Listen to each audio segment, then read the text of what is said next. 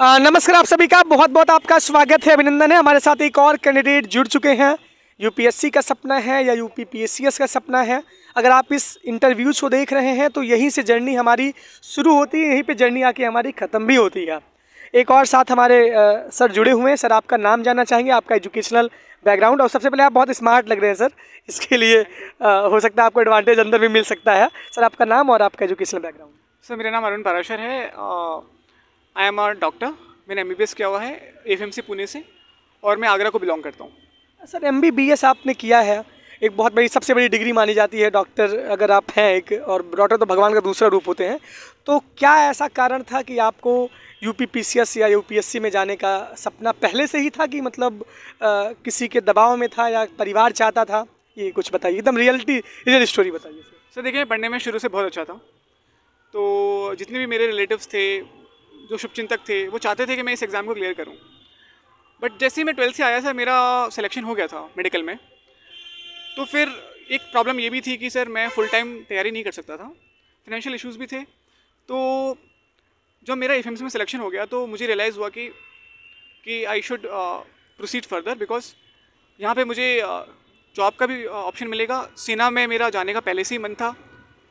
Although for a short term but मैं जाना चाहता था सर बिकॉज़ मैं सैनिक स्कूल को पढ़ा हुआ हूँ। तो एक फाइनेंशियल स्टेबिलिटी भी आएगी एक्सपीरियंस भी होगा और फिर मैं शायद आगे चल के तैयारी कर पाऊँगा। तो मैंने तैयारी को फ्यूचर के लिए टाल दिया था। अच्छा फ्यूचर के लिए टाल दिया था। मतलब आपने तैयारी कब से स्टार्ट की थी और आपका कौन सा इंटरव्यू है ये? जी सर मैं अगर आपको ऑनेस्टली बताऊँ तो मैंने तैयारी जब मैं कश्मीर में पोस्टेड था तो मैं आ, मेरी तैयारी शुरू हुई है सर राज्यसभा टीवी देखने के बाद। राज्यसभा टीवी हाँ मैं पहले डिस्कशन देखता था इंटरनेशनल अफेयर्स के इकोनॉमी के पॉलिटी के। तो डिस्कशन शुरू कर करके सर आ, मतलब डिस्कशंस देख के सर मैंने थोड़ा करंट अफेयर्स से अपने को अपने को फेमिलियर किया और फिर सर मैं धीरे धीरे फिर मैंने एग्ज़ाम देना शुरू किया। तो 2019 में मैंने यू का प्रीलिम्स भी दिया था जो मैंने क्लियर किया और 2019 में मैंने पीसीएस भी दिया था सर। तो पी सर मेरे सेकेंड अटैम्प्ट है। इस बार सेकेंड अटैम्प्ट है। बहुत लंबा गैप कह नहीं सकते कि 19 से लेकर तेईस तक। हाँ सर क्योंकि मैं एज ए डॉक्टर मैं कोविड में बहुत बिज़ी हो गया था। और फिर मुझे रियलाइज़ हुआ कि it is not worth to give attempt तो तो मैं पोस्टर भी सर बहुत अलग अलग जगह रहता था। तो तो मैंने सर स्किप कर दिए बीच के अटैम्प्ट बीच में स्किप कर दिए। अच्छा इस स्किप के बीच में आपकी पढ़ाई भी शायद बाधित रही होगी और हाँ जी सर बाधित रही और बट सर मैं थोड़ा सा पढ़ाई के प्रति बहुत फोकस्ड हूँ। मुझे पढ़ना अच्छा लगता है। एंड ऐसा नहीं है कि मैं केवल यूपीएससी के सिलेबस का पढ़ता हूँ। तो मुझे पढ़ना जनरली अच्छा लगता है तो मैं पढ़ता रहता हूँ। अच्छा अब ये बताइए कि प्रीलिम्स के लिए क्या स्ट्रैटेजी हम अपनाएँ? बहुत सारे यूट्यूब के चैनल आजकल बहुत फ़ेमस हो रहे हैं। खान सर का चैनल है, उसके बाद अलग अलग ऐसे, अब एसएससी और बैंकिंग वाले भी सिविल के लिए अप्रोच में कूद चुके हैं इस मार्केट में, क्योंकि यूट्यूब का इतना बड़ा, एकदम भीड़ हो चुकी है। कंटेंट की इतनी ज़्यादा भीड़ है इस मार्केट में तो क्या अप्रोच अपनाएँ? क्या फॉलो करें? कौन सी बुक फॉलो करें? कितना देर पढ़ना चाहिए और क्या पढ़ना? क्योंकि आप इंग्लिश माध्यम के छात्र हैं तो इंग्लिश वाले हिंदी से स्मार्ट स्टडी करते हैं, ये माना जाता है। तो क्या स्मार्ट स्टडी करें जिससे कि हमारा बढ़िया क्लियर हो जाए? देखिए सर मैं मेरी सारी तैयारी यूट्यूब से हुई है। बुक्स को मैंने ज़्यादा फोकस नहीं किया बिकॉज़ सर मुझे ऑनलाइन चीज़ें पढ़ना सुन के पढ़ना विजुअलाइज करके पढ़ना ज़्यादा अच्छा लगता है। तो मैंने जो भी आ, कवर किए हैं सारे सब्जेक्ट्स वो ऑनलाइन किए हैं। कहाँ से आपने किए हैं जी जैसे मृणाल सर से मैंने इकोनॉमी सीखी है राज तनिल मैम से मैंने जोग्राफी सीखी है प्रतीक नायक सर से मैंने हिस्ट्री सीखी है। फंटेस्टिक फंडा करके चैनल था सर उससे मैंने मॉडर्न हिस्ट्री सीखी है। वीर तालियन सर का चैनल है उससे मैंने पॉलिटी सीखी है। और करंट अफेयर्स से मैंने study I Q only I S sleepy classes sir इनको फॉलो किया है। अच्छा। सर जैसे कि अभी कुछ बच्चे जो शुरुआत की तैयारी करना चाहते हैं बीए में हैं बीएससी में हैं और वो अगर यूपीएससी और यूपीपीएससी का सपना देख रहे हैं तो एनसीईआरटी का कितना बड़ा रोल है? और एनसीईआरटी कैसे पढ़े? आपने कितनी बार पढ़ी थी? कैसे नोट्स बनाए थे? सर देखिए एनसीईआरटी का एक फाउंडेशन बनाने में रोल है। पर मैं ये भी कहना चाहता हूँ कि अब एग्ज़ाम का जो लेवल है वो एन को बियॉन्ड जा चुका है। तो आपको आप केवल मुझे लगता है कि सर एन एक बेस बना सकती है उनको पढ़ना चाहिए बट आपको सर एन के साथ बहुत सारी चीज़ों को सप्लीमेंट करना पड़ेगा। तो मैं यही कहूँगा कि सर एक चैनल को फॉलो करिए और उसको पूरा देख डालिए सर कौन सा चैनल हो सकता है? जैसे जो मैंने आपको सजेस्ट किए थे जैसे वीर सर का पॉलिटी है तो उनके 200 वीडियोस हैं प्लेलिस्ट है। आप पूरा देख लीजिए और कम से कम 10 बार रिवाइज कर लीजिए सर उसको। तभी सर आप इस एग्ज़ाम में क्वेश्चंस को हैंडल कर पाएँगे। अगर आप भटकते रहेंगे देखिए यूट्यूब में सर बहुत सारे मटेरियल अवेलेबल है तो भटकने से मुझे नहीं लगता कि सर बहुत ज़्यादा फ़ायदा होने वाला है।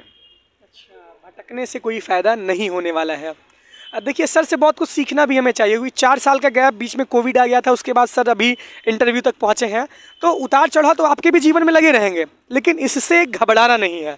जब भी शुरू करना है पूरी पोटेंशियल से पूरी जी जान लगा देनी है। कितना घंटा आप पढ़ते थे ये बहुत बड़ा सवाल है। देखिए सर जब मैं जॉब में था तो मुझे चार से पाँच घंटे मुश्किल से मिल पाते थे। डिपेंड करता था कि मैं कहाँ पे हूँ सिचुएशन क्या चल रही है इंगेजमेंट कितना है। पर सर जब इस बार जो एग्ज़ाम हुआ तो मैंने सर एग्ज़ाम से प्रीलिम से एक महीने पहले और मेन से दो महीने पहले सर मैंने बारह बारह चौदह चौदह घंटे देना शुरू कर दिया था सर बारह बारह चौदह चौदह घंटे देना आपने शुरू कर दिया। जी।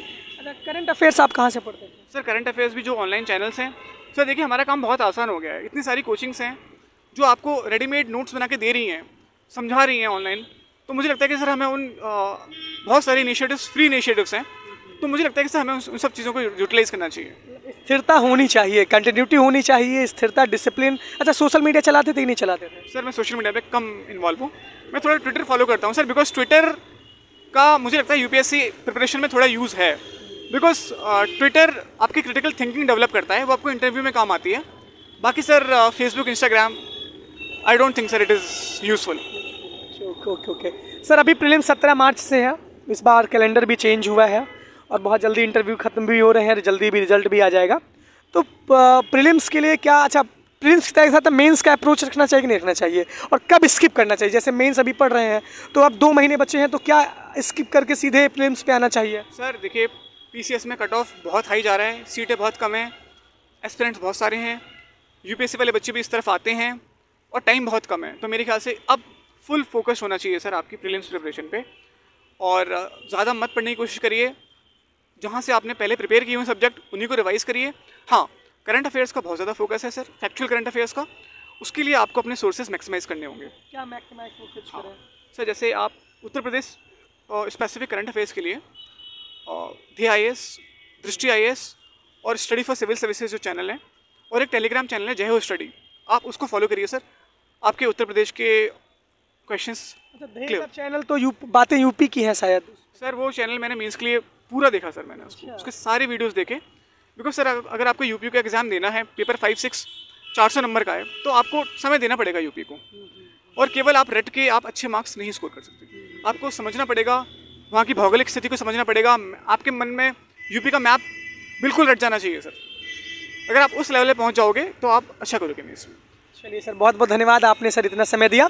एक आखिरी सवाल। एक सफल कैंडिडेट के लिए यानी सफलता का मूल मंत्र क्या है? Patient patience perseverance and dedication sir अच्छा आपकी माता पिता का क्या रोल रहा आपकी इस जर्नी में? सर बहुत बड़ा रोल रहा। वो हमेशा मुझे मोटिवेट करते रहे। चूँकि मैं सर्विस में था तो मुझ पर कभी प्रेशर नहीं डालते थे।